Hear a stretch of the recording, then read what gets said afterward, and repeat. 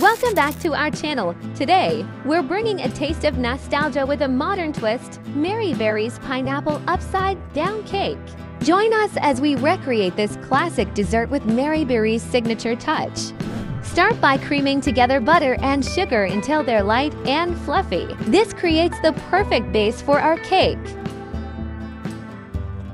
Next, add the eggs one at a time, ensuring each is fully incorporated before adding the next. Don't forget a splash of vanilla extract for that extra flavor. Sift in the flour and baking powder, then gently fold everything together until just combined. Be careful not to overmix. Now, for the fun part, arrange pineapple slices and maraschino cherries in a decorative pattern on the bottom of a greased cake tin.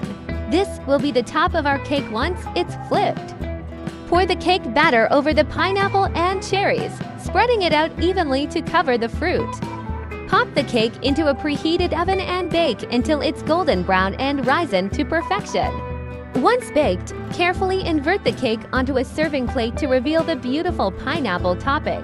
And there you have it, Mary Berry's irresistible pineapple upside down cake, a perfect blend of nostalgia and modern baking. Thank you for joining us today. If you enjoyed this recipe, be sure to like, share, and subscribe for more delicious creations. Until next time, happy baking!